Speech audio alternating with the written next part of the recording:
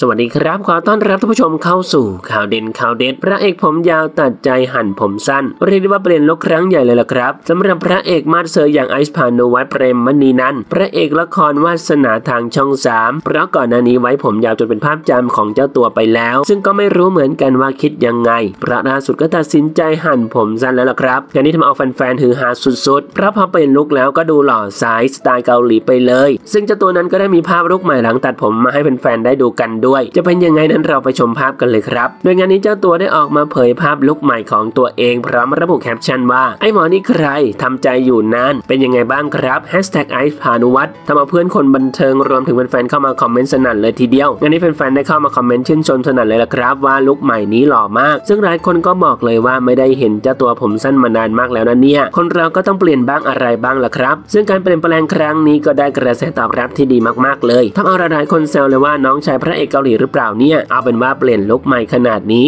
ต้องได้ชมผลงานเรื่องใหม่ของเจ้าตัวแล้วล่ะครับ ผลงานเรื่องใหม่ของเจ้าตัวจะเป็นเรื่องอะไรนั้นก็ต้องรอติดตามกันครับ ได้ข่าวว่าก่อนหน้านี้ก็มีการซุ่มถ่ายละครเรื่องหนึ่งอยู่ไม่แน่ว่าปีหน้าแฟนๆอาจจะได้รับชมผลงานเรื่องใหม่ของเจ้าตัวแล้วก็ได้ครับท่านผู้ชมนะครับมีความคิดเห็นอย่างไรกับเรื่องนี้ลองแสดงความคิดเห็นกันเข้ามาดูนะครับขอขอบคุณข้อมูลจากขอบข่าวขอบคุณครับ